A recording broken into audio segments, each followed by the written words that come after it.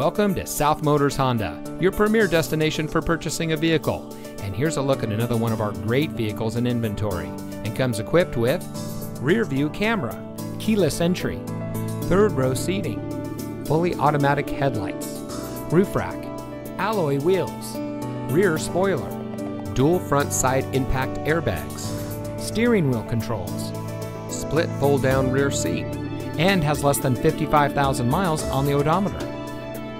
South Motors was founded in 1956 on one principle treat every client like family. More than 60 years later, we are proud to say that we are still locally owned by the same family and we still follow that same family tradition.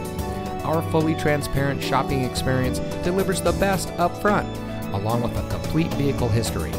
And for additional peace of mind, we also offer a three day exchange policy and a financing program custom tailored to you. So come join the family. We're located at 16165 South Dixie Highway in Miami.